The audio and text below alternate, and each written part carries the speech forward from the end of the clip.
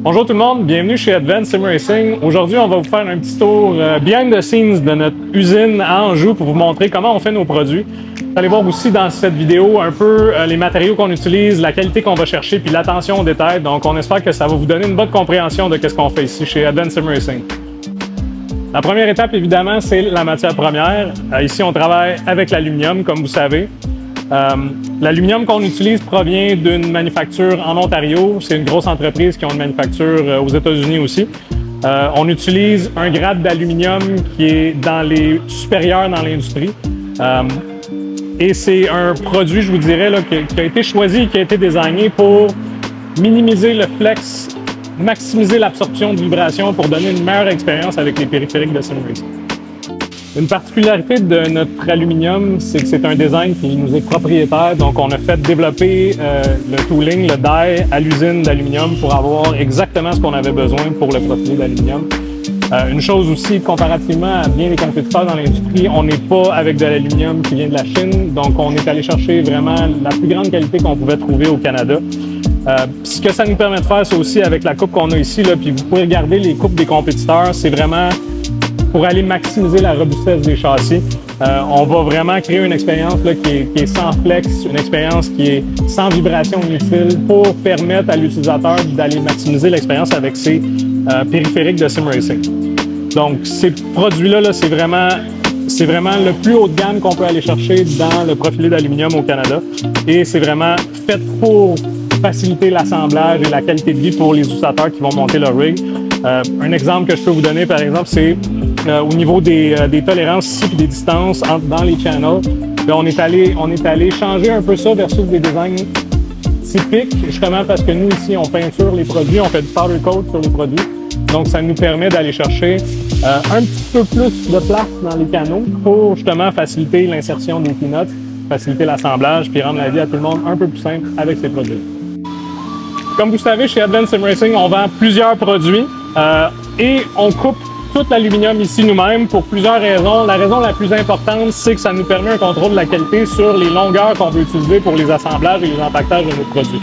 Quand je dis longueur, ce qu'on verra jamais dans un produit Advanced Racing, c'est une erreur de mesure qui va mener à un problème d'assemblage. Donc, nous, on a un contrôle de la qualité, on a une scie industrielle avec une mesure industrielle. Ça nous permet d'aller chercher toutes les longueurs qu'on a besoin assez rapidement pour assembler les produits. Euh, aussi, une chose qui est très importante pour les clients qui sont déjà établis chez nous, ça permet d'aller faire des projets sur mesure.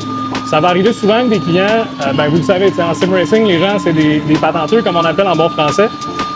Les gens vont vouloir faire des projets do-it-yourself. Donc, ils vont nous commander des mesures extra, vont nous commander des longueurs, des couleurs X. Donc, pour les clients qui sont établis chez nous, avoir la scie industrielle, ça nous permet de rapidement fournir des mesures au besoin pour un projet spécial. Une autre étape très importante, c'est qu'on va préparer les matières premières aussi pour le powder coat et pour l'assemblage de nos clients. Donc, ce qu'on va faire ici, c'est tout ce qui est euh, sablage des coins au niveau de l'aluminium pour faciliter une meilleure adhésion au niveau du powder coat. On va aussi venir faire les tapes sur les bouts d'aluminium pour les produits qui ont un besoin d'avoir une attache au bout de l'aluminium. Donc, tout est fait à la main, à l'interne ici pour assurer un contrôle de qualité. Quand on a commencé Advanced Sim Racing, on a eu l'idée de powder coat les produits, les châssis, les supports à moniteur. La raison étant, on voulait aller chercher une durabilité puis une qualité et un look aussi. On sait pertinemment que les gens qui aiment la course, qui aiment les autos, ben, il y a quand même une appréciation pour le fini, pour le look. Donc, on a investi, quand on est déménagé ici en Anjou, massivement dans tout ce que vous voyez derrière moi. Euh, en bon français, un boot de powder coat. Donc, on est allé chercher probablement ce qui se fait de mieux dans le marché en termes de solutions de powder coat au niveau du four, au niveau des, euh, pinceaux. Vous allez voir, c'est pas exactement un pinceau, vous allez voir. Au niveau des rackings, tout ce qu'on utilise. Donc, on a investi massivement pour s'assurer que avec notre croissance, on allait être capable de continuer à powder coat puis servir des produits de très haute qualité avec un fini qui vaut vraiment la peine. Fait que la première étape qui va aller dans, un travail de powder coat, ça va être au niveau d'accrocher les produits. Ça peut paraître simple, mais c'est quand même une job très importante si on veut s'assurer d'une couverture optimale au niveau des produits pour la peinture. On va aller bien accrocher nos produits, bien les présenter pour s'assurer que notre peintre soit capable de faire un excellent travail au niveau de la couverture et l'application.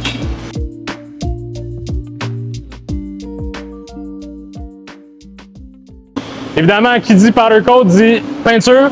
On a notre peintre d'année qui travaille en ce moment pour faire des, euh, des side brackets et des pièces qui vont sur un, sur un châssis. Donc, c'est l'étape la plus importante. C'est là qu'on a besoin d'un niveau de précision au niveau de l'application, de l'attention aux détails. C'est très facile de faire une mauvaise job en Powder Coat. C'est très difficile de faire une excellente job. Euh, nous, le but, c'est que tous les produits qui sortent de notre four à peinture soient de qualité exceptionnelle. Et c'est ce qu'on travaille depuis qu'on est ici à la nouvelle usine. Donc, avant de passer à l'étape très importante de la peinture, on va, on va rincer et nettoyer les pièces de métal, d'aluminium. On va utiliser une solution chimique avec un mélange d'eau pour s'assurer d'enlever toutes les impuretés. Pour quand on va venir appliquer la peinture, ben, on n'aura pas de, de petites poussières qui vont venir se coller en arrière du powder coat. Euh, évidemment, on fait tout de façon environnementale, euh, dans le sens qu'on va mesurer le pH de l'eau avant d'aller disposer. Donc, on a un drain qui va se vider dans une citerne à l'externe, qu'on va toujours garder un œil sur le niveau de pH, la composition chimique. Donc, tout est fait aussi en règle de l'art avec la Ville de Montréal pour s'assurer de rester le plus éco-friendly possible dans notre contexte de peinture en poudre. Donc, une fois l'application de la peinture en poudre, euh, étape très importante et cruciale, on va cuire la peinture, pour ceux qui ne savent pas euh, comment c'est fait du powder coat. Et oui, il faut cuire la peinture dans un four qui va à des températures extrêmement hautes. On aimerait ça vous montrer aujourd'hui, mais c'est un peu dangereux de rentrer dans le four aujourd'hui. Euh, donc, ce qui va arriver, c'est que l'application va être faite. On va laisser la peinture un peu tempérée à l'air libre. Après ça, on va la mettre au four, dépendamment de la couleur choisie. C'est des recettes très précises, donc on va aller chercher euh, une température X et une durée Y pour s'assurer que la finition soit parfaite et colle au métal le plus longtemps possible. Fait qu'une fois qu'on a fini de passer à travers le processus, on a un produit final, on a un produit qui est peinturé, qui est plus durable, qui va être plus résistant aux égratignures, euh, ce qui va permettre de conserver un look sur le châssis ou sur les accessoires qui va être vraiment plus euh, de qualité, plus long terme, quelque chose que pendant l'assemblage, par exemple, si on l'accroche avec une Allen key, ben ça va pas faire une grosse graphing. c'est vraiment pour ça qu'on fait ça. vous pouvez voir un peu de proche le niveau de qualité, le niveau de, détail dans l'application du powder coat. C'est ce qui fait vraiment que ça finit, ça fait une, finition là, que on est vraiment fiers de, sortir et de présenter à nos clients. Évidemment, on met beaucoup d'attention aux détails sur la pré-production. C'est sûr qu'au niveau de l'emballage, on néglige pas non plus. Euh, si vous avez déjà acheté nos produits, vous savez qu'on met beaucoup d'efforts pour s'assurer que pendant le transport, il va n'y avoir aucune égratignure, aucun dommage. Euh, comme vous pouvez voir, tous nos produits lourds vont être emballés dans une mousse protectrice et tous les coins vont être euh, protégés avec du tape. Comme ça, on peut s'assurer que, même si nos livreurs préférés jouent aux Olympiques du lancer de la boîte, on n'aura pas de problème d'égratignure ou de dommage. Au niveau des plus petites pièces, évidemment, c'est le même processus qui va être appliqué. Par exemple, nos vessel mounts vont être empaquetés à la main, protégés. Donc, on a toutes les variétés de plus petites pièces que vous voyez ici, qui vont toutes être organisées comme ça. On a des SKU pour chaque article pour nous aider à nous retrouver dans nos recettes de production. Par exemple, un ASR3 va prendre XYZ SKU, donc les gens qui vont faire les assemblages vont être capables de venir s'organiser ici avec les boîtes, les identifications. Euh, et après ça, on, a tout ce qui est au niveau de la quincaillerie. Si vous avez déjà assemblé un produit de sim racing, il y a beaucoup de quincaillerie. Donc tout ici va être pesé, compté à la main. On va toujours donner aussi plus d'extra au niveau des vis, au niveau des T-nuts, tous les trucs essentiels pour vous aider à finir votre rig. Évidemment, il n'y a rien de plus frustrant s'il peut manquer une vis pour un assemblage. Euh, et la beauté de la chose, c'est que si ça arrive malgré tout, parce qu'on ne peut pas être parfait tout le temps, on est à Montréal, on peut shipper partout à travers le Québec assez rapidement, à travers le Canada, les États-Unis. Donc, on a tout ce qu'il faut pour s'assurer que les gens aient une expérience d'assemblage qui va être sans accroche et vraiment facile à suivre, facile à faire. Et même s'il arrive quoi que ce soit, on va être là pour eux. on garde aussi euh, chez Advanced Sim Racing un inventaire le plus large possible. Euh, ici, on a des boîtes de ASR 3. Donc, tout ce que vous voyez autour de moi, c'est vraiment l'inventaire qu'on a prêt à partir. Euh, on a eu des défis dans le passé au niveau de la rapidité d'expédition. On veut améliorer ça le plus vite possible. En 2023, on a fait vraiment beaucoup de progrès au niveau du temps entre la commande et l'expédition. Le but pour 2023, d'ici la fin de l'année, c'est qu'on va être capable d'expédier n'importe quel produit de marque Advanced Racing en dedans de 1 à 2 jours ouvrables. Donc, on veut s'assurer que quand les gens sont prêts, veulent courser, veulent se bâtir un vrai simulateur, on va être là, puis on va être disponible, puis on va envoyer les produits très rapidement. Évidemment, tout ce qu'on manufacture ici chez Advanced Sim Racing, il faut que ça se rende chez vous. Donc, on a une équipe de shipping et d'expédition qui travaille activement à s'assurer que toutes les commandes se rendent. On travaille majoritairement avec UPS euh, et avec le volume qu'on a aujourd'hui, on a commencé à travailler par palette. Donc, nous, on envoie les palettes au centre de distribution chez UPS et eux vont s'occuper de scanner, faire le tri et expédier le plus rapidement possible. Pourquoi on fait ça? Ça nous permet de limiter les pertes d'articles Parce que veut, veut pas, on les adore UPS, mais ça arrive, une commande sur 1000 par exemple, qui peut manquer une boîte. Donc, cette façon-là, c'est notre façon d'optimiser la rapidité d'expédition, le travail de nos gars ici, puis de s'assurer que vous ayez vos produits le plus rapidement possible.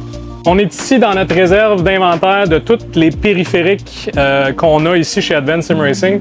On a le plus grand inventaire en Amérique du Nord, possiblement sur la planète Sim Racing, là, pour tout ce qui est les volants, les bases, les pédales, les accessoires, les shifters, les handbrakes, j'en passe. Euh, et on a tout ça en stock ici à Montréal. Donc, ce que ça nous permet, ça, c'est évidemment, c'est du rapid shipping. Donc, on est capable de prendre une boîte, vous avez une commande de SimCube, on prend la boîte en dedans de quelques minutes, le label est déjà fait, c'est en route vers chez UPS et ça va être chez vous très, très, très rapidement. Donc, souvent, ce qui arrive dans l'industrie, c'est qu'il y a des détaillants qui ont supposément de l'inventaire sur le site. Les gens vont commander, il peut avoir un délai de plusieurs semaines. Nous, tout ce que vous voyez sur le site en inventaire, c'est ici, c'est prêt à partir. Vous pouvez même venir le chercher euh, si vous êtes à Montréal ou dans les environs. Une chose chez Advanced Sim Racing, on travaille dans le haut de gamme quand on fait des simulateurs de course complets. Évidemment, on a un partenariat avec D-Box, les systèmes de mouvement et de vibration et d'aptique. Euh, on est le distributeur global numéro un sur la planète, donc on fournit aussi les autres vendeurs. Euh, on est l'entreprise qui a le plus travaillé euh, à installer des simulateurs et avoir développé l'expertise de comment utiliser ces produits-là pour vraiment donner une expérience incroyable en sim racing. Si vous avez la chance de passer chez nous à Anjou à Montréal pour venir essayer un système D-Box, ça vaut vraiment la peine. C'est la cerise sur le Sunday qui vraiment va compléter une expérience de sim racing. Euh, juste une petite parenthèse, bienvenue dans notre euh, build room. C'est là qu'on va tout tester, configurer et préparer les simulateurs de course clé en main, qui est vraiment un service parallèle à tout ce que vous avez vu là. Euh, puis vous allez me dire, Marc-André, c'est pas un simulateur de course, J'aurais tendance à être d'accord avec vous autres. C'est un simulateur pour une réplique d'hélicoptère qu'on fait pour un de nos clients. Euh, on fait vraiment tout ce qui est simulateur sur mesure, que ce soit de la course de n'importe quel style, Formule 1, rally, drift. On peut aller vraiment dans n'importe quel répertoire. Puis aussi, on a commencé dans les dernières années à se spécialiser dans tout ce qui était la simulation de vol et d'hélicoptère, donc on en fait de plus en plus. On a aussi offert des systèmes hybrides à nos clients où est-ce qu'avec certains de nos châssis, on est capable d'aller remplacer rapidement les équipements euh, de simulation de course pour mettre des équipements de simulation de vol. Donc, offrir vraiment une expérience hybride à un coût qui fait plus de sens pour la grande majorité des gens qui achètent chez nous. Au niveau des simulateurs clés en main, euh, on a une équipe aujourd'hui d'une dizaine de techniciens qui vont voyager à travers la planète euh, si vous écoutez la vidéo à la sortie, on a une équipe qui revient d'Arabie Saoudite pour installer une vingtaine de simulateurs, une, une entreprise de e-sports. Euh, on voyage un peu partout à travers le monde. On en a fait en Europe, on en a fait beaucoup aux États-Unis. Euh, on a notre propriétaire et collègue Francis aujourd'hui qui est en train de préparer une configuration qui s'en va à Toronto pour une course de IMSA. Donc, on fait non seulement des installations clés en main, mais on fait aussi de l'événementiel avec ces unités-là. Euh, c'est vraiment quelque chose, vous pouvez voir, cette machine-là est assez spéciale, mais c'est quelque chose qui va créer vraiment une expérience unique pour nos clients, pour nos fans, pour les gens qui sont là, qui vont l'essayer. J'espère que vous avez apprécié la visite chez Advanced Sim Racing, un petit behind the scene. Euh, quand vous vous posez la question, elle est où ma commande? Des très bonnes chances qu'elle soit dans une de ces étapes-là. On travaille fort pour s'assurer que les produits sortent qualité exceptionnelle à une vitesse exceptionnelle. Donc, on espère pouvoir continuer à vous servir, puis on apprécie vraiment que la communauté au Québec, ça nous a permis d'arriver là aujourd'hui, puis on continue à grandir, puis on continue à être la référence pour le sim racing à Montréal, au Québec, au Canada et aux États-Unis.